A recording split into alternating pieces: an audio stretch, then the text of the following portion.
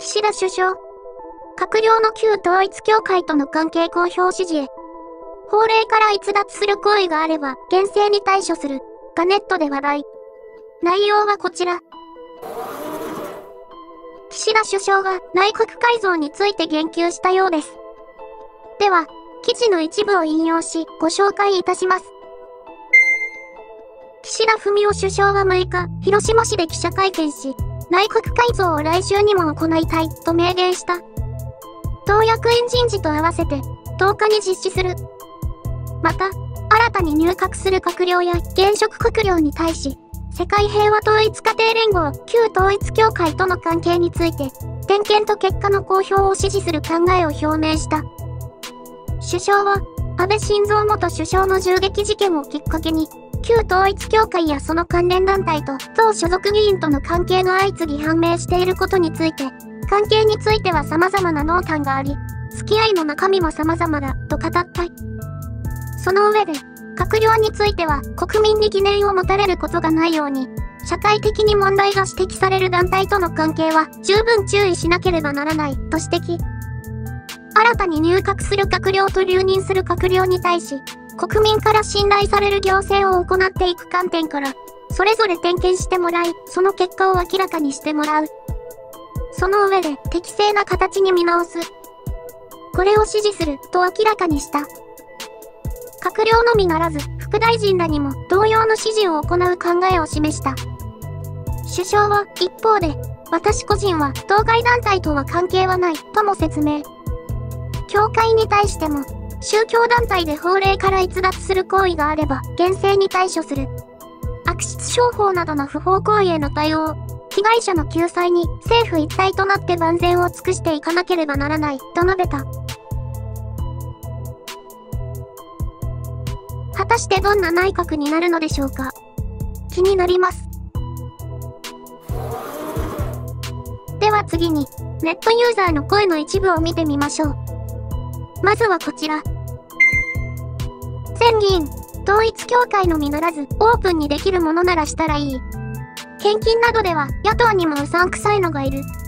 通り党略の自民党叩きなら、くだらないことこの上ない。所属、関連団体、思想信条、信仰の開示を義務化した方がいい。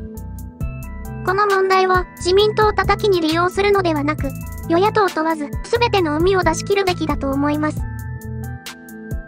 次はこちら。統一協会と縁を切っても、公明党と組んでる時点で何も変わってないと思うけどな。いつまで創価学会を国土交通省大臣の椅子に座らす気だ。日本中がシナに切り売りされてしまう。公明党も排除しとけよ。公明党に関しても問題がないかしっかり調査すべきだと思います。次はこちら。統一は党から追放しろ。自民党自体が統一協会との関係を真正面から取り上げないと、いつまでもカルトに汚染された政党というイメージがつきまとう。統一以外のヤバいのと繋がってるのもあぶり出せよ。マスコミが統一協会問題を使い、自民党を躍起になって叩いている現状に、なんだか違和感を感じます。とはいえ、問題は解明すべきです。最後はこちら。これだけマスコミによって明らかにされれば、関連団体を知らなかったなんて通用しない。本当に知らないなら、政治家として無能。資質なし。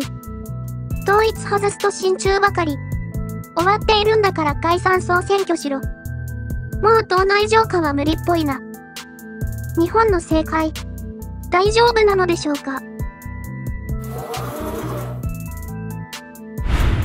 結論統一教会の問題を知れば知るほど、かなり危険な思想を持つ団体に見えてしまいます。そんな団体と付き合う政治家に、国民が疑念を持つのも当然です。しかし、今のマスコミと特定野党のバカ騒ぎを見ていると、なんだか森かけと同じように見えて違和感を覚えます。とにかくこの問題は、与野党問わず、何が問題で何が問題でないのか。陰謀論はなしに、真相をはっきりさせるべきだと思います。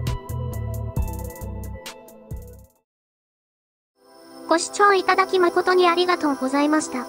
まだチャンネル登録がお済みでない方がいらっしゃいましたら、チャンネル登録していただけますと、今後のチャンネル運営継続と、質向上のための励みになります。ぜひ、この機会に、チャンネル登録のほど、どうぞよろしくお願いいたします。